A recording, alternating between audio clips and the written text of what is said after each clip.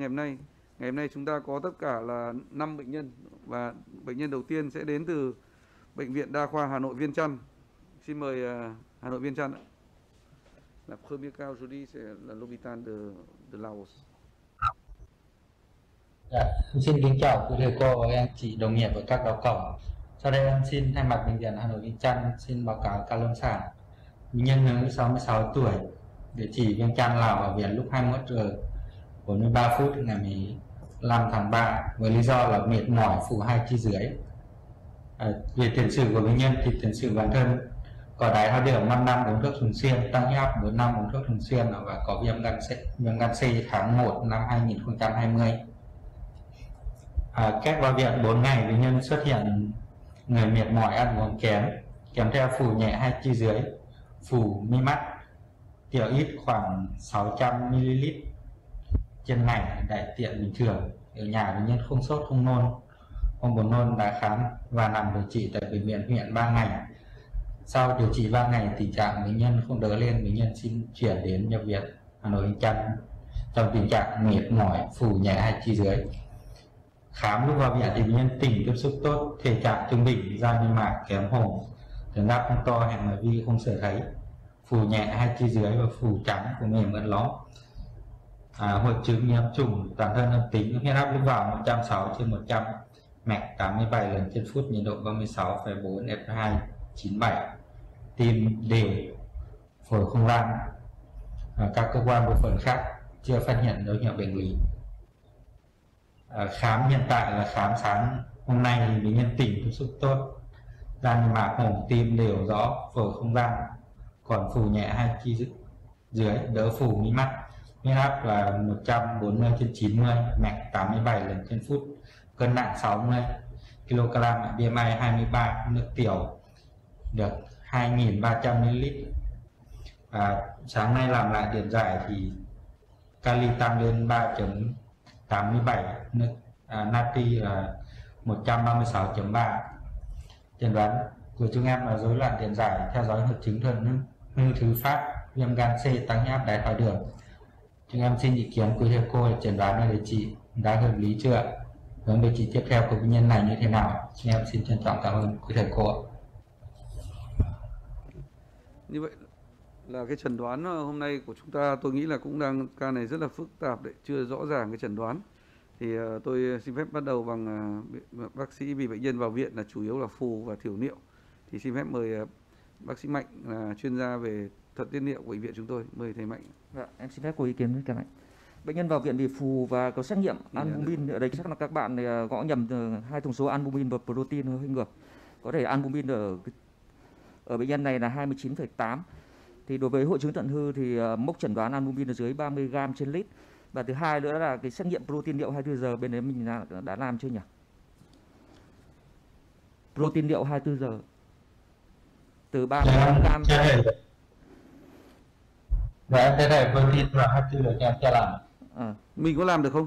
Ở, ở ở Lào mình có làm được protein niệu 24 giờ không? Dạ, có thể. Vâng. Thế thì trước khi anh Mạnh nói thì tôi cũng khẳng định luôn là tất cả trường hợp mà nghi ngờ hội chứng thận hư thì chúng ta vẫn nên làm đúng không thầy Mạnh? Dạ. Đây là cái tiên tiên quyết lần sau chúng ta có những ca hội trần này chúng ta nên nên bổ sung ngay khi trước khi hội trần. Vâng, mời thầy Mạnh tiếp tục. Ờ, sau khi có chẩn đoán xác định là hội chứng thận hư thì mình cần phải phân biệt hội chứng thận hư tiên phát do tổn thương tại thận hay là tổn thương thận hư thứ phát. Ở bệnh nhân này có hai yếu tố nguy cơ mình sẽ phải uh, sàng lọc. Đó là bệnh nhân à, uh, đái tháo đường. Đối với đái tháo đường từ 5 năm trở lên thì nó sẽ có nguy cơ tổn thương thận.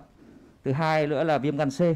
Viêm gan C là viêm gan C và viêm gan virus B. Là, là hai cái viêm gan rất là thường gặp nó gây ra tổn thương cầu thận. Về cơ bản để, để xác định chẩn đoán thì đối với trường hợp này thì lên sinh thiết thận nếu có điều kiện. Còn không thì mình sẽ phải điều trị uh, viêm gan C ổn định đã.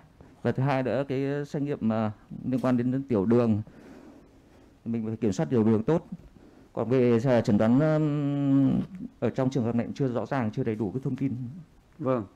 Tuy nhiên là nếu mà protein niệu đủ tiêu chuẩn là hội chứng thận hư Đã. thì theo ý kiến của anh mạnh vẫn bắt đầu bằng điều trị ờ, các bệnh, nền trước Đã. đúng không và và Đã. chúng ta sẽ điều trị thận nhưng tuy nhiên là chúng ta không lý giải được cái điện giải rất thấp kali rất là thấp trong suốt thời gian mà các anh bù khá nhiều cả đường truyền đường uống thì trước mắt thì anh anh anh có thể Cái chia sẻ cái cách điều trị một cái hạ kali máu Trong trường hợp này thì ờ, các bạn tạm thời nên dừng lợi tiểu đã. Dừng tạm thời dừng lợi tiểu đã. Vâng dừng Vâng, lợi dừng dừng lợi lợi tiểu đã. Vâng. vì bệnh nhân hết phù rồi thì ta cũng dừng lợi tiểu Vâng. tuy nhiên tôi thì tôi không nghĩ là do lợi tiểu Dạ. tại vì sao tại vì bệnh nhân này nếu các anh anh chị để ý là lúc vào viện ngay khi vào viện Dạ. khi chưa dùng lợi tiểu kali đã có 2,44 thôi Ở nhà Vâng. ờ, không biết bệnh nhân đã có dùng bệnh nhân đã dùng lợi tiểu trước khi vào viện chưa ạ? Dạ em thế này là ở nhà bệnh nhân có đi khám và nằm điều trị thì trong đấy có furosemide Dạ. Đấy, một viên. dạ, dạ. nhưng ờ, cái việc mà mình bù lợi kali này có vẻ là chúng ta vẫn cứ được một lên một tẹo xong lại xuống đúng không ạ Ừ. anh anh mạnh có để ý không ạ Dạ lên tí tẹo do dùng đến lên 3 ngày 16 lên được 3,35 sau đến ngày 18 lại tụt xuống 2 Vì ờ, trong viện các bạn vẫn dùng lợi tiểu thì hai đứa đường máu thì kiểm soát như nào nếu mà đường máu cao quá nó vẫn là gây ra lợi tiểu thẩm thấu nữa. vâng Dạ. nhưng mà ta, tôi vẫn thấy là rất bất thường Dạ. đúng không ạ Dạ. Thì ờ, có một cái hội chứng gọi là hội chứng khôn và trong do đó do hạ cái Dạ. kali máu kèm theo tăng huyết áp. Thì không biết là bệnh nhân đã được loại trừ chưa? Đây thì ờ, nhờ chị Hương thì cho, thêm ý vâng kiến về đây là một cái mà chúng ta không phải lợi nhờ chị Hương. Dạ.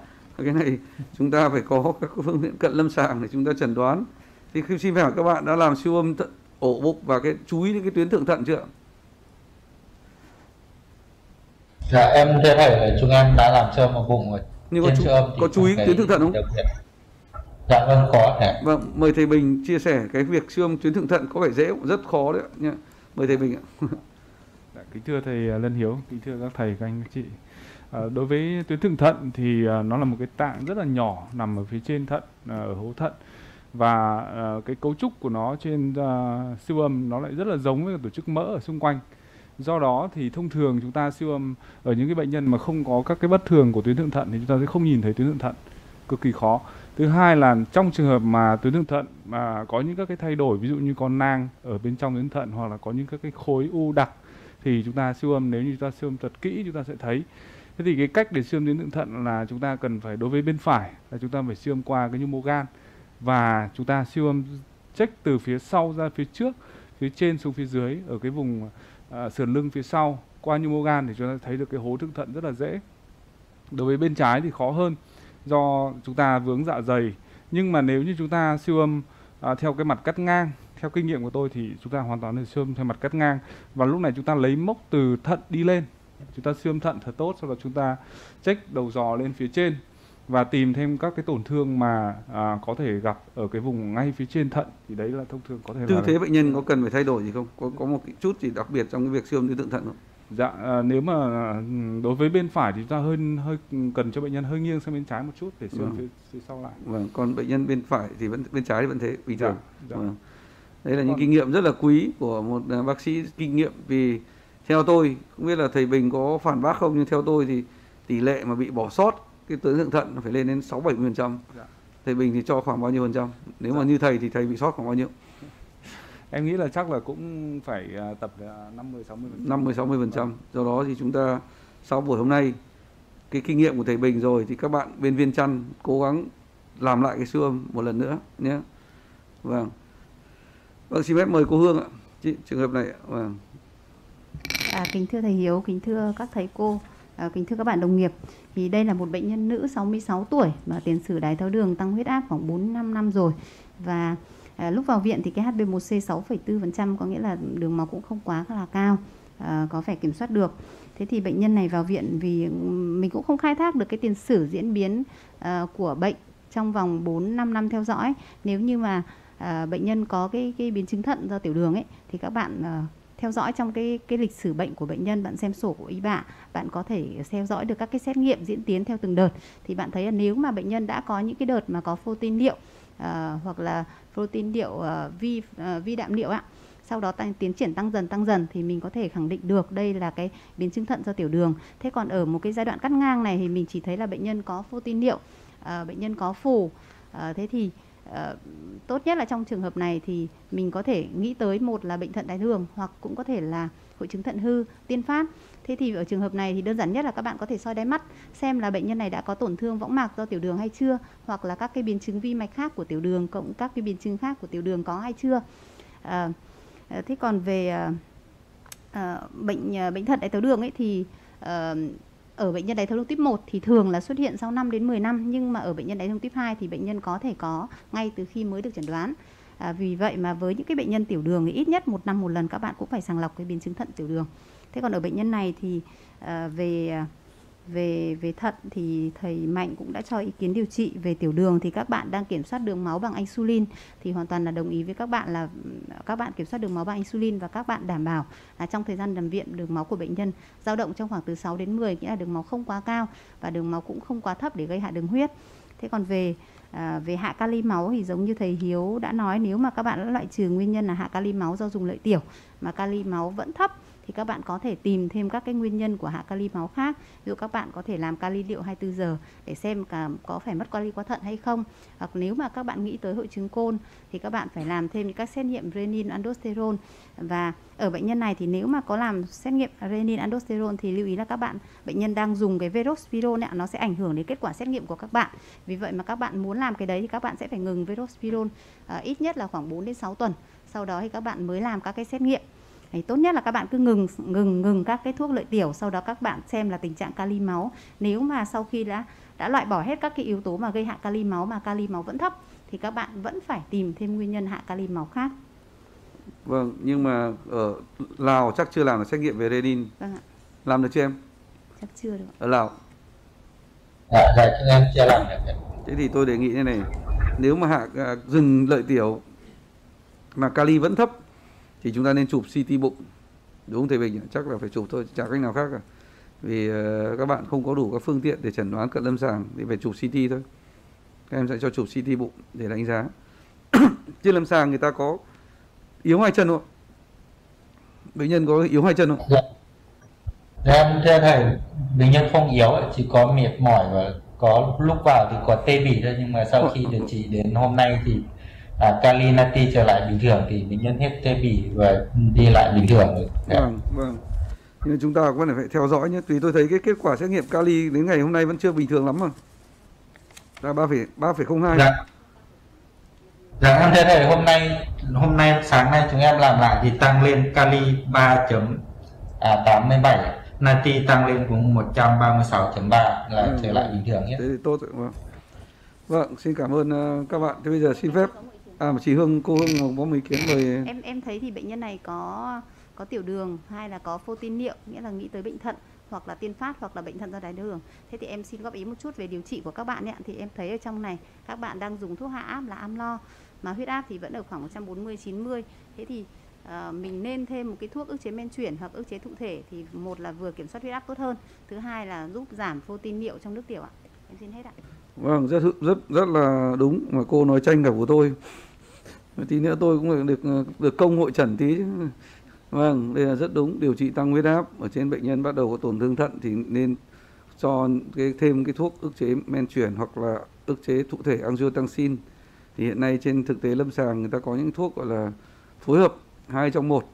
Ví dụ như phối hợp amlodipine với cả vasactang am, amlodipine với cả peridopin với cả tenmisactang vân vân. Có rất nhiều nhóm đấy thì chúng ta nên chọn nhóm ấy uống vừa để bảo vệ được huyết áp 24 tiếng lại vừa làm bảo vệ được cái chức năng thận cho bệnh nhân. Vâng, à, cuối cùng xin phép mời chị Chi uh, hướng dẫn cho các bạn ở Lào về việc điều trị ờ, viêm gan C. Mời chị ạ. Vâng, kính thưa thầy Hiếu ạ, kính thưa các thầy cô và các anh chị đồng nghiệp ạ. Bệnh nhân này phát hiện viêm gan C từ năm 2020. Các anh chị đã cho đếm số lượng virus viêm gan C và nồng độ virus là có phát hiện thấy trong máu. Thì bệnh nhân này sẽ có chỉ định điều trị thuốc chế virus ạ. À, Ờ, về điều trị viêm gan C thì mình biết là viêm gan C thì có 6 tiếp à, ờ, tiếp 1 đến tiếp 6 thế thì có những cái thuốc thì nó sẽ tác dụng theo từng tiếp khác nhau tức là mỗi tiếp khác nhau sẽ có cái phác đồ điều trị khác nhau. Và hiện tại thì mình cũng có những cái thuốc mà có thể tác động với tất cả các cái tiếp thế thì hiện tại thì à, bệnh nhân này đang được dùng là Letvir thì mình biết là Letvir thì nó chỉ tác dụng đối với tiếp 1, tiếp 4, tiếp 5 và tiếp 6 cho nên là trước khi mà mình điều trị cái này thì nếu mà mình lựa chọn các cái thuốc mà nó không thể phủ được tất cả các tiếp thì bắt buộc là mình sẽ phải định tiếp virus viêm gan C trước khi điều trị. Còn nếu mà mình không thể định tiếp được thì thì mình nên lựa chọn các cái thuốc mà nó có thể phủ được tất cả các cái tiếp của viêm gan C. Ví dụ À, ví dụ như là uh, Sofosbuvir kết hợp với cả Venpastavir hoặc là Sofosbuvir chị nói hợp chậm đấy bạn ấy còn chép bạn ấy người lào bạn ấy tiếng việt đã hơi yếu mà chị nói nhanh không chép kịp được? Vâng. vâng. Ví dụ như là có hai cái thuốc mà có thể tác dụng với tất cả các cái tiếp ờ, của viêm gan C. Đấy là Sofosbuvir kết hợp với uh, Venpastavir hoặc là Sofosbuvir kết hợp với Daclastavir vâng. Ở bên ờ, Việt Nam mình thì định tiếp cũng đã khó rồi chắc là bên Lào thì không định tiếp được đâu. Vâng các em không định tiếp được đúng không ạ dạ vâng ạ cho em gia đình ạ. Vâng, thôi đành chúng ta dùng à, điều trị à, bao vây vậy bằng bằng phối hợp hai nhóm à, điều trị à, thuốc à, kháng bị viêm gan C. Có cái chia sẻ gì của chi à, về việc là tác dụng phụ cũng như là đánh giá được cái đáp ứng điều trị tốt hay xấu trên khi sử dụng để chia, chia sẻ với các bạn. Ờ, về hiện tại thì trước kia thì mình dùng là mình dùng PEC interferon kết hợp với ribavirin thì nó có rất nhiều tác dụng phụ nhưng hiện tại là mình dùng các cái thuốc ờ, kháng virus trực tiếp bằng đường uống thì gần như là các tác dụng phụ thì rất là ít thứ hai là đạt hiệu quả ức chế virus rất là cao đạt đáp ứng virus bền vững tức là người ta đánh giá là cái nồng độ virus không phát hiện thấy ở 24 tuần sau khi mình ngừng điều trị thì là cái tỷ lệ của các cái thuốc ờ, kháng virus trực tiếp bằng đường uống này là trên 95% Nhưng mà 24 tuần thì lâu quá. À, Biết không. làm sao mình đánh giá À, được vâng. là bệnh nhân này đáp ứng luôn với cả tác, dụng của thuốc Vâng kháng virus thường trên thực hành lâm sàng các em sẽ đánh giá sau một tháng tức là sau, sau một tháng. thì Vâng. em sẽ đếm lại virus và sau đó nếu ổn thì bọn em sẽ cho bệnh nhân tiếp tục dùng thêm 2 tháng nữa Đếm lại virus tháng. vào tháng thứ hai nhất tháng thứ nhất tháng thứ ba. vâng ạ và, và sau đó ngừng 24 6 tháng. tháng. thì mình sẽ đếm À, sau 24 đó- tuần ạ sau đó dừng 6 tháng 24 tuần vâng 6 Vâng. tháng thì lại đếm lại thì đếm lại. Vâng. Vâng. Các bạn đã ghi được kịp chưa? dạ vâng ạ em ghi kịp Vâng. Thế chúng ta còn có câu hỏi gì không? Dạ em xin cảm ơn quý thầy cô chúng em không còn câu hỏi gì thêm mà chúng em sẽ thực hiện theo hướng dẫn của các thầy cô Vâng, cảm ơn các bạn Lào. Tôi nghe nói là sang tuần sau là bắt đầu chuẩn bị Tết ờ, của Lào rồi đúng không ạ? Thế có tiếp tục hội trần, tiếp tục học không hay là chỉ đi uống rượu nhảy lăm vông thôi? Dạ em thế này là chúng em thì vẫn sẽ tiếp tục làm việc bình thường tại vì đợt này vì dịch Covid của chúng em đang tăng lên rất nhiều riêng ở thủ đô Viêng Chăn thì của bên nhà nước thì có công văn ra thì không cho tổ chức Tết ạ. À, thế gọi là lại mất Tết giống Việt Nam à? Vâng, cảm Dạ, ơn. Vâng, thôi chúng ta đóng cửa uống rượu với nhau vậy. Vâng, cảm ơn các bạn Lào. Chúng tôi sang chuyển sang à, bệnh viện thứ hai là bệnh viện à, đa khoa huyện à, Bắc Quang ạ. Xin mời Bắc Quang ạ. Bệnh nhân nữ 92 tuổi.